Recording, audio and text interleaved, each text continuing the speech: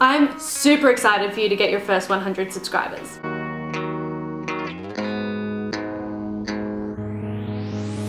Before you create any content, you need to ask yourself, what problem am I solving? Think about why somebody would watch this video. YouTube is a search engine. Why would someone be searching for your content? Now that you know what problem you're solving, title your video accordingly. It's not an accident that the most viewed hypnosis on my channel is called the best sleep hypnosis. Is it the best sleep hypnosis? Well, that's subjective. For some people, it is the best sleep hypnosis. For others, not so much. But of course, no one's searching for mediocre sleep hypnosis or average hypnotherapy. You're watching this video because you want to know how to get your first 100 YouTube subscribers. The title of this video made a promise to give you that information. Once you clicked on the video and you realised the content was valuable, it kept you watching and maybe wondering what other content I have. Which brings me to number three. Ask viewers to subscribe and let them know what kind of content they can expect if they subscribe. I didn't do this for a long time because it seemed obvious to me that if people liked my video, they would subscribe to my channel, but it just doesn't work that way.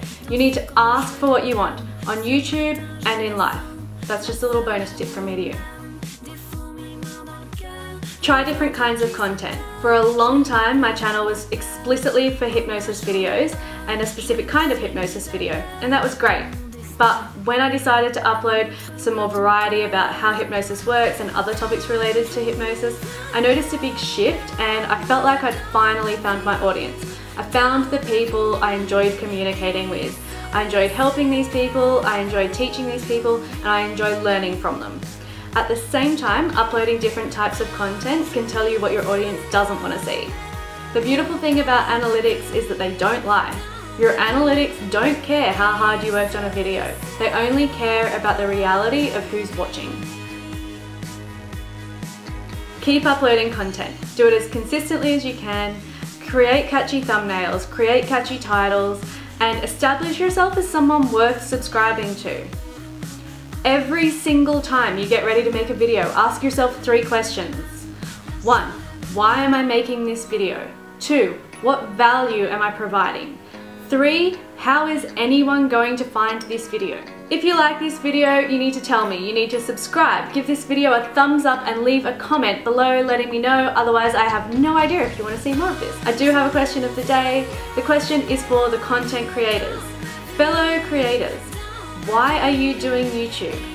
Leave a comment below letting me know. I love, love, love hearing from you. Your comments are my oxygen. They really do make my day. So comment away. And you know what? If you've been wanting to do YouTube and you just haven't started yet and you've been thinking about it, I want you to leave a comment below telling me why. What is holding you back? What's stopping you from doing YouTube right now?